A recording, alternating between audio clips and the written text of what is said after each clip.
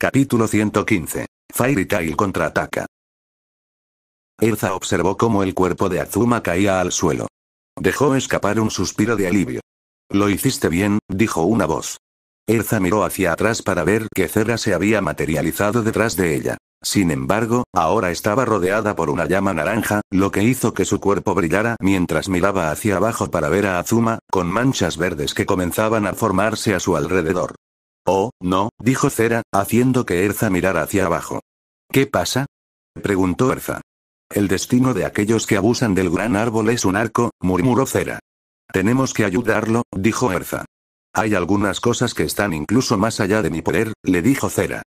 Ya veo, murmuró Azuma mientras las raíces crecían de él. Supongo que me descuidé un poco al final, murmuró Azuma. Luego miró a Erza. Parecía estar hablando con alguien, pero no podía ver a nadie allí. Perdóname, susurró, pensando en su hogar. Fallé. Déjame preguntarte algo, llamó la voz de Erza, llamando su atención mientras aterrizaba donde él estaba. ¿Conoces a un hombre llamado Geyal? Preguntó. Sí, dijo Azuma, el espíritu de Cerez lo poseyó, o eso creía él.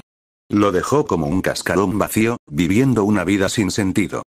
¿Era cercano a ti?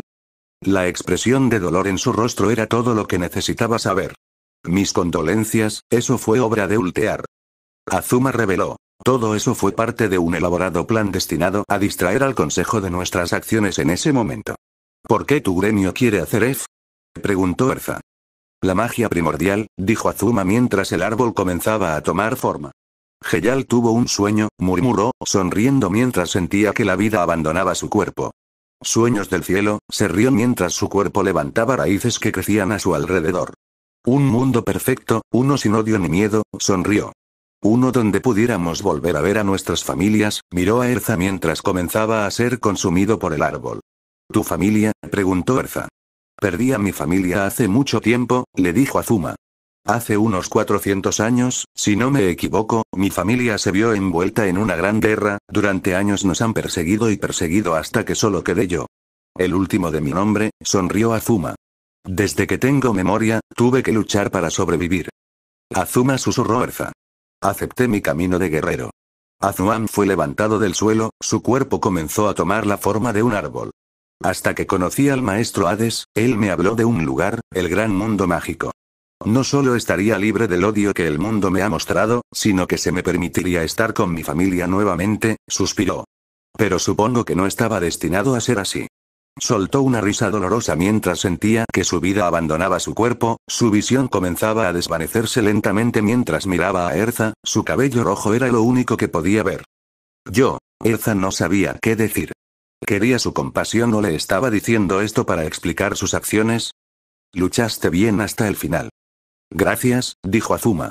Estoy realmente feliz de que hayas sido mi oponente final, Erza Scarlet. Sonrió mientras el árbol lo consumía lentamente, la sonrisa que nunca había abandonado su rostro. Solo pido, logró decir. Solo pido una cosa. Prométemelo. Nunca olvidarás mi nombre. Espera. Gritó Erza, pero ya era demasiado tarde. Azuma se había ido. Cera apareció detrás de ella y colocó su mano sobre el tronco del árbol. Pequeñas flores crecieron a su alrededor mientras susurraba una pequeña oración. Se ha ido, murmuró Erza mientras Cera se ponía de pie. Y mi poder regresa, dijo. Una sonrisa se dibujó en su rostro, él será vigilado aquí por mí, dijo, pasando su mano por el tronco del árbol, lo cuidaré y me aseguraré de que su alma encuentre la paz. Frotó su mano a lo largo del árbol, asimilándolo. Él no tenía que terminar de esta manera, frunció el ceño, así que lo ayudaré, se volvió hacia Erza, puedes quedarte con la armadura de hada armadura, dijo mientras Erza asentía, pero ahora. Es hora de que contraataquemos. El cuento de hadas contraataca. Una luz naranja apareció ante Natsu, lo que lo hizo despertar cuando alguien se acercó a él. ¿Quién eres tú? gritó Lucky. Los ignoró mientras se acercaba a Natsu, mirando a Mavis. Sonrió mientras movía un poco de cabello de su rostro. Miró a Natsu y una comprensión se dibujó en su rostro. Cera murmuró Natsu. Levántate, dijo ella, mientras tomaba un poco de dinero. Déjame restaurar tu poder, dijo, creando una pequeña llama naranja. Todavía hay trabajo por hacer. Natsu agarró su mano. El fuego lo rodeó y comenzó a comerlo mientras se ponía de pie. Me siento mejor. Natsusori vio lo que quedaba de llamas y sonrió. Llamas Tenrou, mis favoritas, sonrió Natsu. Bien, dijo Cera. Ahora, muévete. Tenemos una guerra que ganar. Tema principal de Fairy Tail Tenro Island versión Rustirose pateó a Mira contra un árbol mientras ella se deslizaba hacia abajo. Él saltó para lanzar otro ataque, solo para ser lanzado hacia atrás por una explosión naranja. Cera se paró frente a Mira, sonriendo mientras se giraba para mirarla, quien la miró en estado de shock. Cera, murmuró. Ella asintió mientras extendía su mano. Mira extendió la mano para tocarla y ella la agarró. Sintió que su fuerza regresaba. Gracias. No lo menciones, le dijo Cera. Ahora termina con esto. Deberías haber acabado conmigo cuando tuviste la oportunidad, dijo Mira, poniéndose de pie y haciendo crujir los nudillos. Ahora estás en desventaja. ¿Qué? murmuró Rustirose. Azuma, ¿qué pasó? Se suponía que debías hacer que los niños no fueran más que hojas en el viento. Toma esto, gritó Mira mientras lo pateaba contra la roca. De pie, Mira sonrió. Entonces, Elza derrotó a Azuma, y yo quería una revancha, sonrió. Supongo que simplemente descargaré toda esta frustración acumulada que tengo contigo. Mira, dijo Levi. ¿Qué fue eso? preguntó Lily. No tengo idea, admitió Levi. Ahora, ¿qué fue lo que dijiste antes? Preguntó Mira mientras se acercaba a Rustirose, que tenía miedo en sus ojos. Oh, sí, deberías renunciar a la diferencia de poder y todo eso, sonrió antes de patearlo de nuevo. Rusty se levantó y saltó para quitarse del camino. No puedes escapar de mí, gritó Mira. Mi brazo es una espada negra como el azabache, gritó Rustirose mientras intentaba luchar contra Mira, que solo lo agarró del brazo antes de arrojarlo lejos. Unas pequeñas alas salieron de sus zapatos y aterrizaron en el suelo mientras miraba fijamente a Mira. No me vencerás, le disparó su espada y Mira saltó, agarrándolo en la cara. Te vas a caer, gritó Mira. Mis brazos ahora son lo suficientemente fuertes para enfrentar al más poderoso de los demonios, gritó Rustirose mientras sus brazos se volvían negros y se protegían, y mis piernas son una pared irrompible que no puedes mover, gritó mientras aterrizaba, y mi cuerpo está cubierto por una armadura indestructible y una máscara para protegerme, dijo mientras sus gafas se convertían en máscara, su cuerpo se mantenía erguido mientras Mira golpeaba apenas haciéndolo estremecerse vas a caer, dijo mientras golpeaba a Mira. No va a pasar, gritó Mira mientras esquivaba otro ataque suyo. Perdiste tu oportunidad de ganar. Ella lo agarró por detrás y lo estrelló contra el suelo. No, dijo Rustirose mientras la armadura comenzaba a desaparecer. No me soltaré, dijo. Mira lo golpeó en la cara y luego lo pateó en el estómago, enviándolo al aire. No tendrás una victoria aquí. Puso su mano hacia adelante, solo para ver a Mira tomar una postura. Alma. Extinción luego lanzó un rayo púrpura considerable a Rustirose mientras él dejaba escapar un grito de dolor cuando su cuerpo aterrizó en el suelo, sin moverse mientras Mira retrocedía, perdiendo su transformación mientras caía hacia atrás, siendo atrapada por Levi y Lily. Ustedes dos están bien. Sí, dijo Levi, con lágrimas en los ojos. Eso fue genial, Mira, dijo Lily. Sí, dijo Mira, se sintió bastante bien.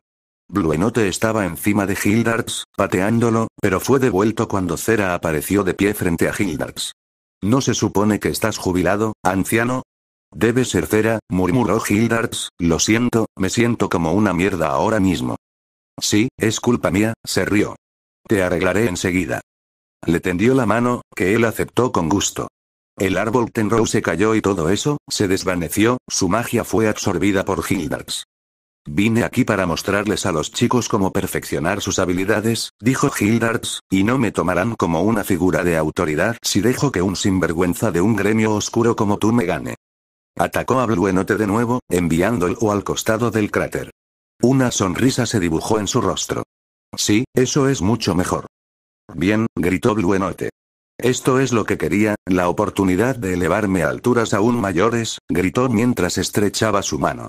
Agujero negro, dijo mientras aparecía un pequeño orbe morado. Ahora veamos hasta dónde podemos llegar, Hildards, sonrió. Enfrentaos bien a mi gravedad infinita y nada podrá resistir su atracción. Bueno, ya veremos, Hildards extendió el brazo. El orbe empezó a brillar antes de desaparecer, rompiéndose en pequeños pedazos. ¿Qué? preguntó Bluenote. ¿Aplastaste mi agujero negro? ¿Quieres volar, eh? preguntó Hildards. Puedo ayudarte con eso. Cruz y Neville, Spreading the Truth. Empirean, gritó Hildarts mientras se abalanzaba sobre Bluenote, lo golpeaba en la mandíbula y lo enviaba a volar por el cielo. En otra parte de la isla, Meredi se detuvo, sintiendo todo el poder mágico. Sonrió. Bueno, parece que mi diversión no se verá interrumpida, dijo mientras continuaba su camino. Detrás de ella había varios cadáveres de miembros de la unidad de ejecución del Consejo Mágico, todos los cuales habían venido a la isla para buscar a Dornbolt. Ultear no dijo nada mientras miraba a Gray. La voluntad de Ur, murmuró de nuevo. Puedes creerme o no, dijo Ultear, mirando a Gray, pero sé que tengo que sacar a Ceref de esta isla, murmuró. Por favor, Gray, dijo, mi madre y yo hemos estado esperando este día durante mucho tiempo. No lo sé, dijo Gray. Y Zepshel es lo único que podría detener a Hades, rogó Ultear. Tienes que creerme, Gray. Miró la tristeza en sus ojos mientras Gray apartaba la mirada. Lo sentiste. Ni siquiera Mavis podría enfrentarse al poder del abismo de la hechicería. Miró hacia abajo. Esta es la única manera, dijo Ultear mientras una sombra cubría el rostro de Gray. Conozco el riesgo, pero tú eres el único que puede, dijo, sin el árbol Tenrow, los niños y Mavis son impotentes contra Hades. Está bien, dijo Gray. Lo haré. La cara de Ultear se iluminó. ¿De verdad? preguntó, gracias, dijo. No te hagas una idea equivocada, dijo Gray. No estoy haciendo esto por ti ni por tu madre, dijo. Estoy haciendo esto por mis amigos, dijo. Si ellos no pueden ganar, tendré que hacerme cargo de los demás. Ultear sonrió mientras asentía con la cabeza. Mientras pasaba junto a él, sin decir nada, Gray esperaba con ansias la idea de usar Iceshell, suspiró antes de cerrar el puño. Su mente se dirigió a Natsu, Lucky, Erza, Wendy, Gagel e incluso Jubia, con una pequeña sonrisa en su rostro, sabiendo qué hacer. ¿Te importaría decirnos qué fue eso? gritó Lucky mientras corría detrás de Natsu. Prácticamente moriste, luego apareció un fantasma y te curó, y ahora puedes correr una maratón. Es una larga historia, dijo Natsu, una que... Natsu miró a su compañero, una de las personas en las que más confiaba, una de la que no estoy seguro de querer hablar todavía, dijo, mirando hacia adelante. Quería volver al campamento lo antes posible y solo podía esperar que Mira estuviera bien. Sí, dijo Aki, llamando su atención. Fue horrible, Natsu. Es horrible, dijo Carla, el árbol del medio fue derribado. Tal como lo pensé, dijo Natsu, deteniéndose y miró hacia atrás, esa fue la bendición de Tenrou, dijo Natsu. Que el gran árbol Tenrou, explicó Mira sobre la repentina pérdida de poder mágico. Todos los miembros de los hijos de Magnolia sintieron su brillo en algún momento, dijo. Nos da fuerza y aumenta nuestro poder mágico. Miró hacia donde solía estar el árbol Tenrou. También es la fuente de todo el poder mágico de esta isla. Entonces, ¿la caída del árbol te afectó? preguntó Levi. Sí, respondió Mira, cuando cayó sobre mí, Natsu perdió repentinamente su poder mágico. Pero, ¿cómo fue que tu poder mágico regresó? preguntó Lily. ¿Fue ese espíritu el que se acercó a ti? Mira asintió. Sí, ese tipo Azuma había derribado el árbol y se había apropiado del poder mágico de la isla, explicó Natsu. Ahora estaba caminando. Afortunadamente, Erza estaba cerca y Cera pudo usar el poco poder mágico que le quedaba para ayudarla a vencerlo, lo que le dio a Cera la fuerza para darnos un impulso en poder mágico. ¿Cuánto tiempo durará? preguntó Kana. No tengo idea, dijo Natsu, sus poderes son limitados sin el árbol. Solo tuvo la fuerza para darme un pequeño impulso, dijo, el resto de su poder está enfocado en curar a Mavis. ¿Y supongo que esa era Cera? preguntó Kana. Natsu solo asintió. Entonces, ¿puede hacer algo con la nieve? Todavía no, dijo Natsu, no sin Mavis. Tenemos que darnos prisa y volver. Antes de volver a moverse, dejó de sentir algo. Salgan ahora, dijo, mirando a una figura que salía, revelando que era Meredi. Ella sonrió mientras los miraba. La nieve parecía levantarse a medida que el aire frío pasaba junto a ellos. Por fin, murmuró, alguien más que esos matones del Consejo Mágico. Dornbolt, murmuró Wendy. ¿Qué es un Dornbolt? Preguntó Meredi. No pregunto nombres cuando mato a personas. Miró a Natsu, una mirada oscura apareció en sus ojos mientras sonreía. Al fin nos conocemos. No otra vez Natsu Dragneel, está bien, es la primera vez que lo hago, dijo Ati. Supongo que la gente de los gremios oscuros puede aprender tu nombre, Natsu. El aire, susurró Kana, recordando la conversación que habían tenido antes. No puede ser. Meredi les dirigió una sonrisa oscura mientras movía las manos y sacaba algo de detrás de ella. Natsu percibió un leve olor a sangre y algo más que no pudo reconocer mientras miraba fijamente a la chica que tenía delante. Entonces, ¿estamos esperando a que Natsu llegue? preguntó Mira. Ya se había sentado, envuelta en una manta, mientras Levi y Lily intentaban sacar a Rustirose de su campamento en caso de que se despertara. Quería ayudar, pero la pareja insistió en que descansara después de la repentina pérdida de poder mágico que había experimentado. Miró a su alrededor para ver que Elfman, Evergreen y Gagel todavía estaban bien. Sí, dijo Levi mientras veía a Lily irse, él trae gente herida y Wendy está con él. Me alegro de que estén bien, dijo Mira mientras Levi le entregaba una bebida. Estaba tibia al tacto. Aquí tienes que intentar mantenerte caliente hasta que llegue, dijo. No creo que esta tormenta de nieve vaya a amainar. Nunca pensé que vería nevar en la isla Tenrow, murmuró Mira mientras tomaba un sorbo. Todo empezó cuando estabas fuera, dijo Levi, sentándose a su lado. Empezó a llover y luego llegó la nieve. Debe haber sido magia, dijo Mira. Sabemos que Jubia puede invocar la lluvia, aunque tiene poco o ningún control sobre ella, dijo. Eso explicaría la lluvia, pero un mago debe haberla usado y haber hecho nevar. ¿Es eso posible? Preguntó Levi. Nunca me he encontrado con nadie que pudiera hacer eso con la magia de la nieve. No, de hecho, Jubia es la primera maga que he conocido con ese tipo de habilidad, le dijo Mira, inclinando la taza y haciendo que el líquido del interior se agitara. Jubia parecía necesitar la lluvia para aumentar su fuerza. Mira la miró. Pero recuerdo haber oído que había algunas magias perdidas que podían afectar el clima, suspiró Mira. Sí, dijo Levi, recuerdo que Jubia nos dijo eso. Pero quien hizo esto tiene que poder controlar cuando sucede, dijo, usé la lluvia que hizo Jubia, Mira miró al cielo, y creó nieve. Eso suena aterrador, se estremeció Levi. ¿Crees que se les acabaría el poder mágico para mantenerlo en funcionamiento durante tanto tiempo? Mira mantuvo la mirada fija en la distancia. Eso sería un problema, murmuró Mira.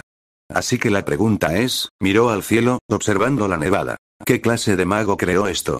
Un cazador de dragones, dijo la voz de Lily, llamando la atención de las dos chicas. ¿Qué? preguntó Mira.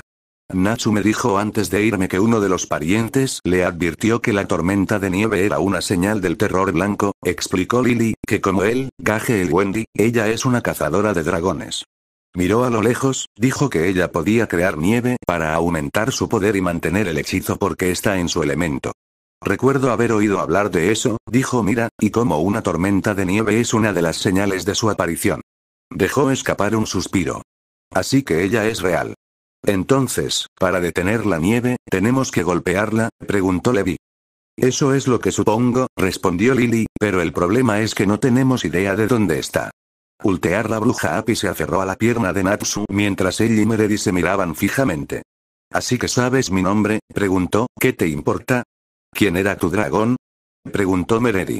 Ignel el dragón de fuego, respondió Natsu.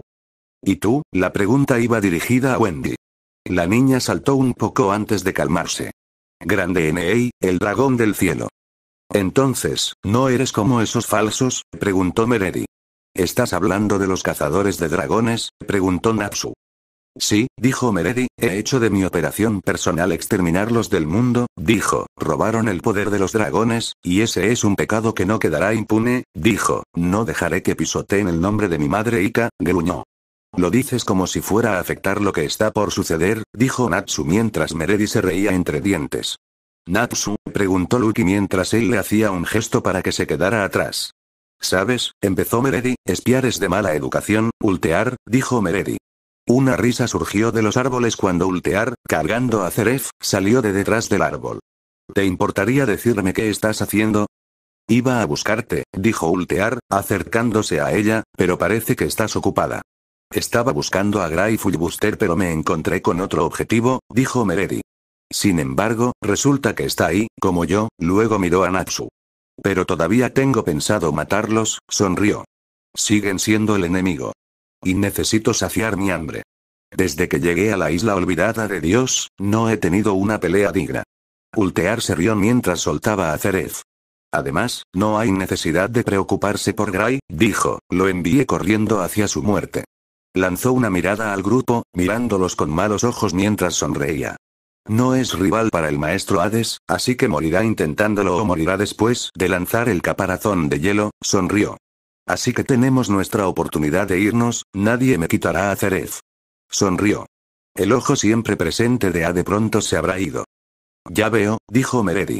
Entonces, si no te importa, dio un paso adelante, me gustaría ponerme a trabajar. Meredi la miró. Entonces decidiré si debo traicionar al maestro junto contigo, dijo. Ultear notó algo extraño. El rastro que dejaba detrás de ella era rojo, junto con manchas rojas, que asumió eran sus huellas. Sin embargo, parecía que había arrastrado algo con ella. Entonces vio lo que parecían piernas. ¿Qué estás sosteniendo? preguntó Ultear. Oh, esto, dijo Meredi, es mi nuevo juguete. Sacó algo. Todos los que estaban frente a ella retrocedieron horrorizados y Wendy se cubrió la boca ante lo que vieron. Aunque fui un poco brusca, dijo Jubia, que estaba ensangrentada y magullada, y fue arrastrada a través de la nieve. Su cabello estaba suelto y su ropa estaba cubierta de barro y suciedad mientras Natsu la fulminaba con la mirada. Oh, no te preocupes, está viva. Apretó su cabeza, haciendo que Jubia gritara. La sangre brotó de su boca mientras todos retrocedían horrorizados. Déjala ir, gritó Kana antes de arrojarle cartas a Meredi, pero la nieve se movió para protegerla. No querrás golpearla, ¿verdad? Dijo Meredi, sonriendo antes de arrojar a Jubia a un montón de nieve y agarrarla. Ya que ya no necesito que esté viva, dijo. Antes de que pudiera moverse, Natsu la golpeó. La nieve logró absorber el golpe, pero creó una onda expansiva. Déjala ir, gritó Natsu mientras se derretía en la nieve. Meredi atrapó su puño y soltó a Jubia. Ella intentó golpearlo, pero él atrapó su puño y sus poderes rebotaron entre sí. De ninguna manera, susurró Kana. Están a mano, dijo Ultear, retrocediendo. Parece que tenía razón. Salamander habría sido la distracción perfecta para sujetarla si se volvía loca. Impresionante, dijo Meredi sonriendo. Pero no me vas a vencer, gritó mientras una pared de hielo aparecía entre ellas, obligándolas a saltar hacia atrás mientras Gray aparecía, agarrando a Jubia y deslizándose detrás de Natsu. Gris, vitorearon todos. ¿La tienes? preguntó Natsu, mirando hacia atrás. Sí, dijo Gray mientras observaba a Jubia. Su mente volvió a esa misteriosa banda que apareció en su brazo. Era ella, dijo. Esa es la única explicación. Ella estaba luchando por mí y yo no hice nada. Miró con enojo a Ultear y a Meredi. Quien se limitó a sonreír. Vas a pagar por cada rasguño, gruñó. Oh, dijo Ultear, y yo que pensaba que te había convencido, se rió Ultear, que me delató. Pruébalo en el momento en que abriste la boca, gritó Gray. Oh, me seguiste la corriente para descubrirme, dijo Ultear. Chico travieso. No me importa un carajo si es el testamento de Ur. Prometí no volver a usar ese hechizo, gritó. Su mente recuerda lo que Natsu le dijo en la isla Kaluna. Mis amigos y yo encontraremos una forma de vencer a tu maestro, gritó Gray, pero no será de la forma que tú quieres. Gris, gimió Jubia. Jubia, dijo Gray, mirando a la niña en sus brazos, ¿estás bien? Por favor, murmuró, está sufriendo, dijo. Debes, se detuvo y abrió un solo ojo, muéstrale la luz, las lágrimas comenzaron a rodar por su rostro mientras miraba a Gray, sálvala, dijo. Por favor, sálvala, dejó de hacer una mueca de dolor mientras Gray la abrazaba. Jubia, susurró Natsu mientras miraba a Meredi, quien se puso de pie, golpeando la pared de hielo. Dragnel es mío, gruñó mientras Natsu se mantenía firme. Chicos, tienen que irse, dijo Natsu. Lleven a Jubia a un lugar seguro. Mantente fuerte, dijo Gray, no te atrevas a morirte, ¿de acuerdo? Gracias, murmuró Jubia antes de desmayarse nuevamente. Detrás de él, Kana se había llevado a Mavis. La chica se había tensado, pero se relajó poco después. Kana sintió un pinchazo en el brazo, pero lo ignoró. Necesitaba llevar a Mavis al campamento para que pudiera estar a salvo. Luki, dijo Natsu, trae a Jubia y regresa al campamento, dijo Natsu, sin darse la vuelta. Sigue corriendo hacia adelante y terminarás allí. ¿Estás segura? preguntó Luki. Natsu asintió mientras se acercaba a Gray. Ella estará bien, le dijo mientras se la entregaba. Luki sacó la llave de Capricornio y él apareció, recogiendo a Jubia. Gracias, Capricornio, dijo Luki mientras miraba a Ultear. Entonces, tenemos un traidor entre nosotros, murmuró Ultear. Zoldeo ya no me controla, dijo. Miró a Meredi y luego a Natsu, quien asintió antes de irse con Uki, Kana, a picarla. Natsu, murmuró Wendy. Gray. Ve, chico, dijo Natsu mientras Gray estaba a su lado. Estaremos bien. Vamos, Wendy, llamó Carla. Natsu y Gray pueden encargarse de esto. Ten cuidado, Natsu, dijo Wendy, tú también, Gray. No te preocupes por nosotros, chico, dijo Gray, podemos cuidarnos solos. Sí, respondió Natsu, ahora vete. Jubia te necesita más que nosotros ahora. Está bien, dijo Wendy, saliendo corriendo mientras Meredy la veía huir. ¿Qué es ella para ti? Pregunta Meredy. Amigo mío, dijo Natsu, y como tú, mi hermana jurada, dijo Natsu, no tenemos que hacer esto. ¿Te aferras a tus ataduras? se rió Meredy. Yo cerré mi corazón hace mucho tiempo, dijo, a diferencia de ti, yo elijo abrazar a mi monstruo. Ultear miró a Gray con enojo y una sonrisa oscura se dibujó en su rostro. Esa bruja te amaba más que a su propia hija, gritó, así que creo que podría disfrutar esto demasiado. Deberías respetar a tu madre, dijo Gray, ya que ella no está cerca, supongo que tendré que convencerte a golpes, quitándose la camisa. Ese será tu último error, muchacho, dijo Ultear, desafiaste al líder de los siete parientes. Ahora morirás, Dragnel, gritó Meredy. Ni hablar, gritaron Natsu y Gray mientras los cuatro se preparaban para el combate. Ambos grupos comenzaron a liberar su poder mágico, lo que provocó una onda expansiva que obligó a la nieve a volar hacia arriba. Te estás hundiendo.